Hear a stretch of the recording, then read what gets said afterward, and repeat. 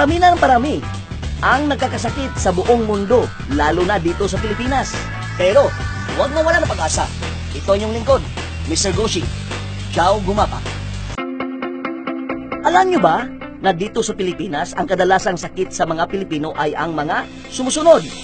Sakit sa puso, high blood, pagkabara ng mga ugat dahil sa mataas na kolesterol, diabetes, sakit sa baga o TB, sakit sa kidney, hika, cancer, at marami pang iba. Tayong mga Pilipino, hindi talaga natin maiwasan ang tinatawag natin unhealthy lifestyle. Marami sa atin ang madalas na uminom ng alak, paninigarilyo, palaging kumakain ng mga junk foods, at matatabang pagkain. Kulang pa sa ehersisyo at sobrang stress dahil sa trabaho. Ang ating katawan ay may tinatawag na self-caring o pinagdagaling nito ang kanyang sarili. Kinakailangan lang nating kumain ng gusto ng mga masustansyang pagkain at regular nga pag-ehersisyo. Good news mga kaibigan, mayroon ng isang herbal medicine na makatutulong sa ating mga karamdaman. Ito ang Goshi Herbal Capsule.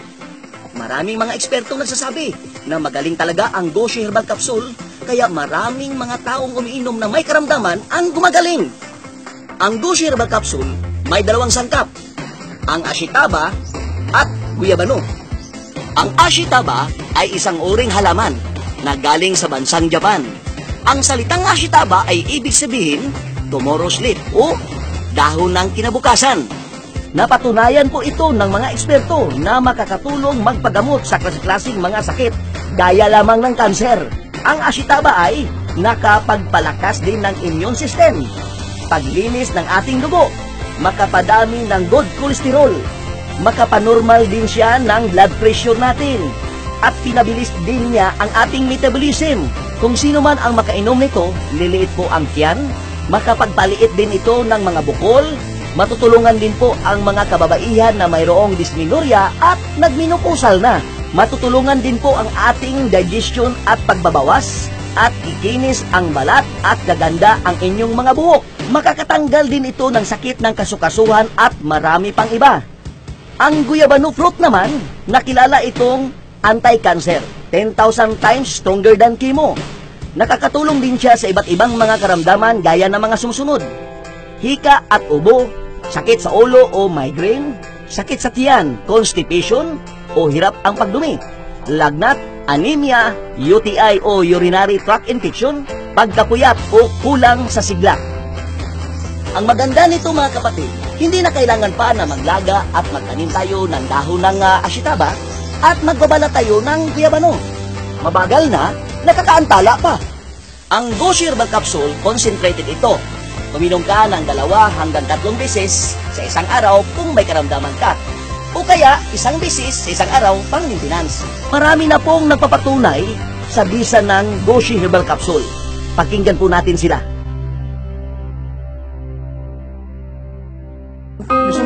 Ano po ang karamdaman ninyo?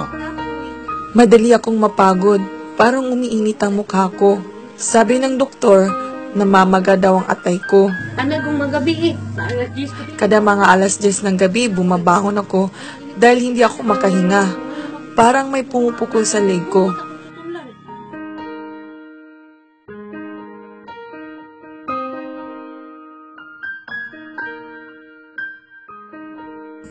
Pag ato, oh, pag ko ato sa doktor. Nung pumunta ako sa doktor, hinihingal ako. Masakit ang dibdib ko kapag humihinga. Kuan, i-gamawa.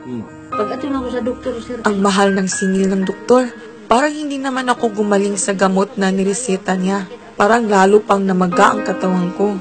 Pag tumara Nung sa ininom ko ang goshi niyo, sa awa ng Diyos, parang gumaan ang pakiramdam ko at ang aking paghinga. Ko. Parang nanghihina ako palagi.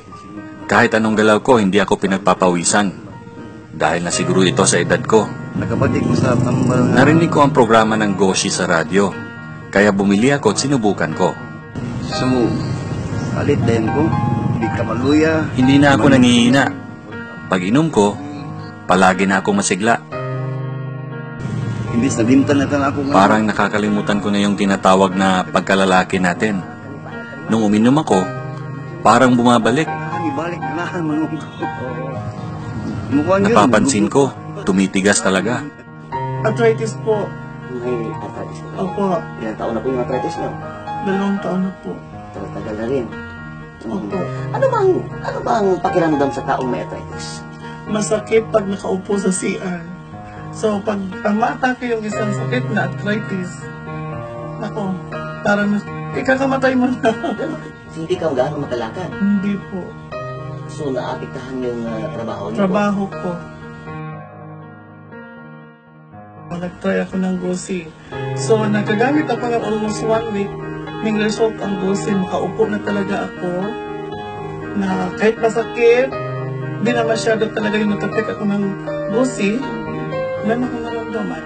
Pati yung naramdaman ko to sa baywang, wala na talaga. May sakit din sa niyo. Oo, bitawag natin na kidney. Sa kidney po. Oo. So, ibig sabihin, hindi lang isang sakit ang Hindi lang isang sakit na wala, dalawa. At yung pakiramdam niyo sa katawan, Umagaan, gumagaan. laging pinapawisan. Akong gibati ko, an, diabetes. Diabetic ako, tapos palaging sumasakit ang tiyan ko. Palagi akong nag-ELBM. Pagkatapos kong maglaba, sumasakit agad ang katawan ko at nilalagnat ako.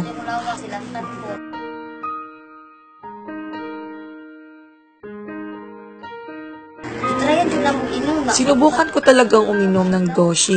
Totoo palang may healing reaction. Sinubukan ko talaga. Gumaling talaga ang mga karamdaman ko. Katong nga time, Nung time na yon, wala na talaga ako nun. Namamaga na ang katawan ko. Komplikado na ang sakit ko dahil sa kidney. Diabetic pa ako at may gouty arthritis. Kahit underwear ko, hindi ko na kayang suotin. Kahit kutsara ko, hindi ko na mabuhat. Kaya sinusubuan na lang nila ako. Kutsara, kung kita na ko nila, pwede na ako magaw.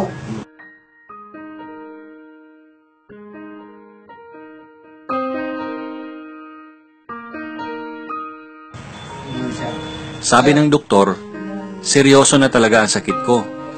Nag-failure na ang dalawang kidney ko. Sabi niya, hindi na kayang mag-kidney transplant dahil nag-failure na ang dalawang kidney ko. May dugo at bato pa daw ang isa. Sabi ng doktor, ready to dialysis na daw ako.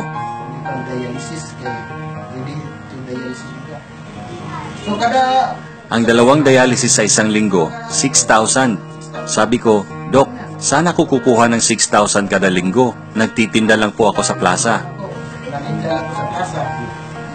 Sabi niya, Sir, pero seryoso na po talaga ang sakit ninyo. Nasubukan po namin ang Goshi. Sa awa ng Diyos, gumaling ako sa Goshi.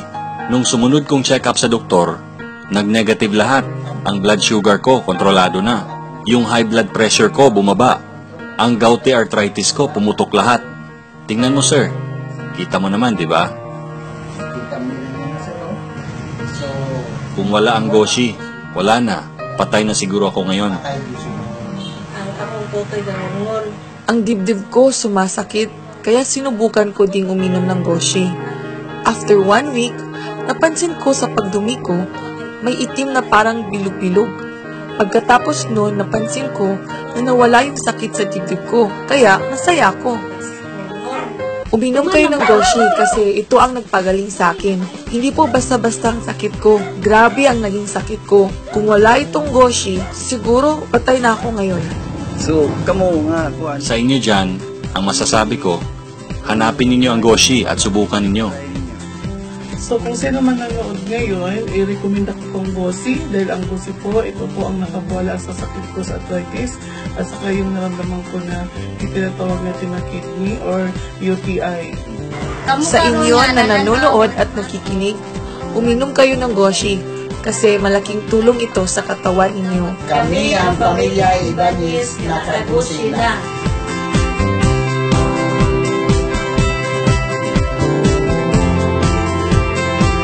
Maraming salamat po sa inyong panunood at pakikinig.